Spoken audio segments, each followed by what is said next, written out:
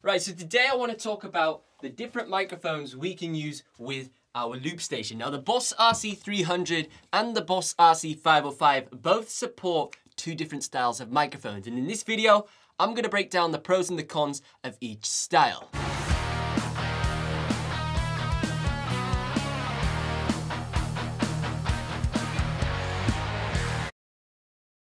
Hey, what's up? Hope you're having a fantastic day and welcome back to another video. If you're new around here, I'm Ben Rowlands and this channel is all about live looping. Upload three videos just like this every single week. So if that's something you're interested in, consider subscribing. Now today we are going to be taking a look at two different types of microphones that we can use with our loop station and which is the best one for live looping. So let's first kick things off with this style of microphone here. This is called a condenser microphone. Now a condenser microphone is designed for environments like this inside of a studio. Now normally I would use a condenser microphone to record my vocals for singing on a studio track that you would release onto Spotify or Apple Music for example. Now the difference between a condenser microphone and a dynamic microphone like I have here is how sensitive the microphone is and also the noise rejection. So because this condenser microphone is designed for silent environments like in here, the problem is it has very poor sound rejection. So it means when I'm talking into it, it will pick up the audio for basically a full 360. Even if you're talking into the back of the microphone, it's still gonna pick you up relatively well. Now I'm going to set up the condenser microphone with the Boss RC300 and I will demonstrate how this microphone sounds. So we're just going to grab our XLR cable just like you normally would and what we're going to do is we are going to plug our microphone in just like normal. So on the Boss RC300, the special thing about the condenser microphone is the fact it requires phantom power. Now luckily on the Boss loop stations, RC505, RC300, they do support plus 48 volts, which is phantom power. So that means we can supply some extra voltage to push this microphone to its full capability for it to work correctly with our loop pedal. So the way that we set up phantom power on the Boss RC505 and the Boss RC300 differs slightly. So I'll first show you how to set it up on the Boss RC300 and then we'll hop over to the Boss RC505 and I'll show you how to set it up on that looper pedal. So before we start plugging things in and turning phantom power on, what we first want to do is we want to make sure our master level is down and our input for our microphone is also turned right down. This will stop any popping, clipping, any feedback through your speakers so you don't damage your speakers and more importantly, you don't damage your ears. So now what we're going to do is we're going to take a look at the back of our Boss RC300 and on the back we have all of our various connections. Now over here we have our microphone input, but right next to the mic input, we have this phantom switch. So this will turn phantom power on and off. So we obviously have the option for off, and we also have the option for on. Now we're going to make sure that it's switched off, and then we are going to take our condenser microphone, and we are going to plug our XLR cable into our looper pedal.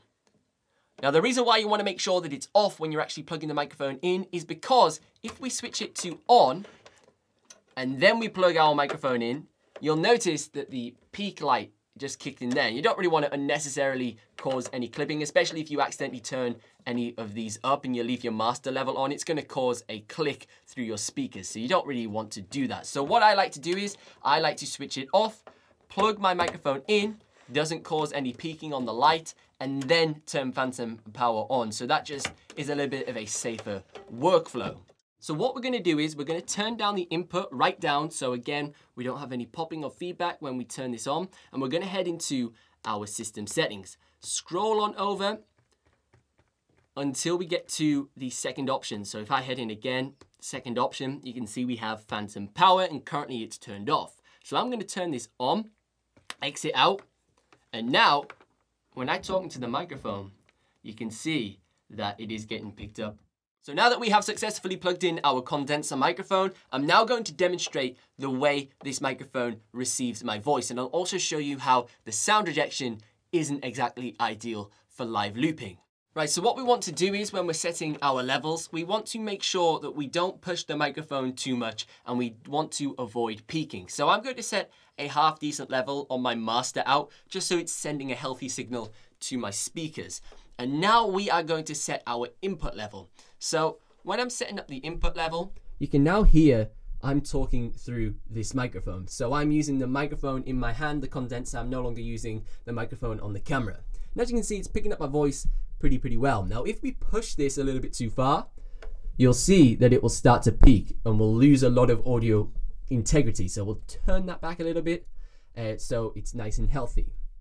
So now that we have set the levels on our condenser microphone, I'm now going to demonstrate how this microphone sort of rejects and picks up sound. So on a condenser microphone, we I usually have a front of the microphone and the back of the microphone. So the front's usually labeled by a little dot like this, or the logo or the, of the brand that the microphone is. So this basically tells you talk into the microphone this way. So you can see that this is picking up my voice really, really well. It sounds really, really good. Great quality. But the problem is, as I turn the microphone around, I'm talking into the side of it, you can still hear it's picking up my voice pretty well. And even when I talk into the back of the microphone, it's still picking up my voice really, really well, which means the condenser microphone is not suitable for a live stage situation because it's basically going to pick up everything the crowd's doing, all the glasses clattering in the in the pub, the club, whatever, people shouting and screaming and talking, and all of that is going to record into your loops along with all of the stage noise like your guitar, your piano, whatever, and then it's going to build up and build up and create a huge wall of sound and inevitably cause a lot of feedback. So it's it's not a very desirable sound that we want to use.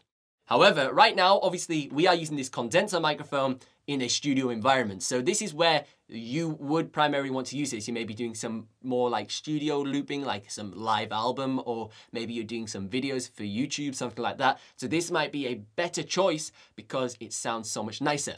However, you may still run into a problem.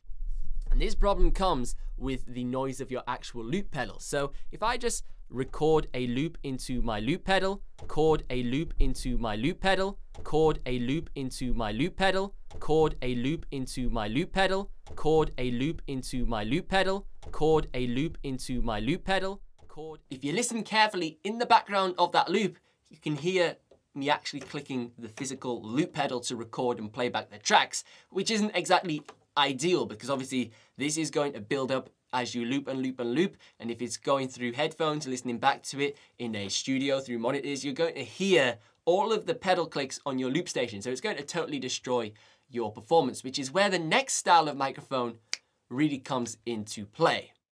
So this right here is a dynamic microphone. And this is my preferred style of microphone for live looping, and it's the one I use on all of my performances. So in particular, this is the Sennheiser E945. It's a super cardio dynamic microphone, so it's really high quality. You know, you have it's, it's a really nice, crisp, clear sound of you singing and talking into it, but it has all of the advantages of the sound rejection inside of the actual microphone.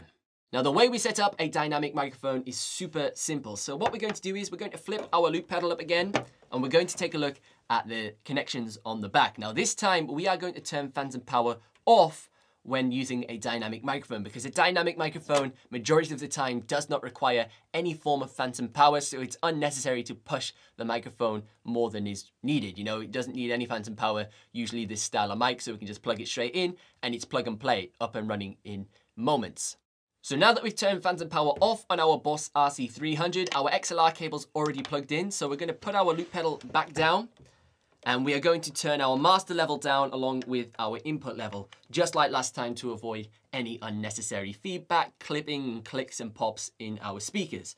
So now we're going to plug our XLR cable into our microphone and we are pretty much now ready to start looping and setting our levels.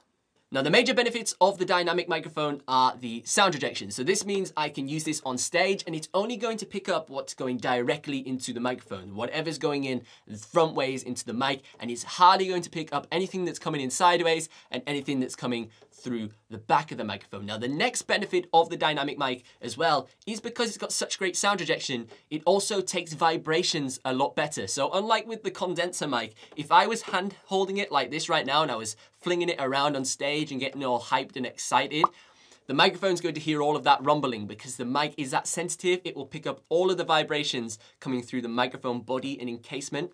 So now with the dynamic microphone, we don't have this issue. So I can get really animated on stage and it's not going to be rumbling and you can hear all of the, the vibrations of my hand moving it. So let's set up the mic levels.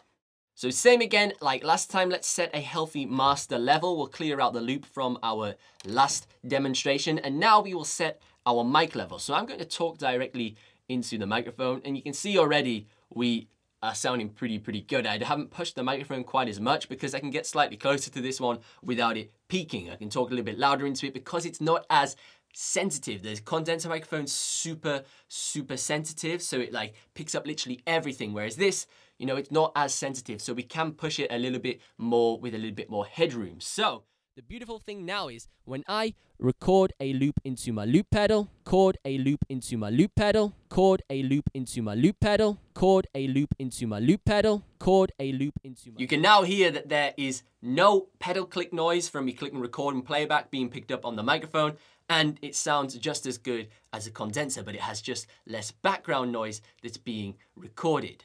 So finally, I just want to demonstrate the sound rejection on the dynamic microphone so you have a reference point compared to that condenser earlier. So if I talk directly into the front of the microphone, what you are hearing right now is this Sennheiser dynamic microphone. However, if I talk into the side of it, you can hear the sound rejection has started to kick in. Now I'm really close to this microphone, so it might pick me up still a little bit more, but if I was back here and I was a crowd member screaming, it's hardly going to get picked up on this mic. Then again, if we talk into the back of this microphone, you can hardly hear what I'm saying into the mic because it, it's hardly picking anything up because of its sound rejection of the actual microphone. So if you want to learn more about using microphones with your loop pedal, be sure to check out these videos down below where I show you various setup solutions, single microphone, double microphone, whatever you require for your live looping setup. But as always, if you enjoyed today's video, be sure to give it a thumbs up and also consider subscribing to the channel. I upload three videos just like this every single week. And let me know in the comment section down below, what style of microphone do you run with your loop pedal? Are you running a dynamic microphone or are you running a condenser microphone? But thank you so much for watching. I've been Ben Rowlands and I will see you in the next one.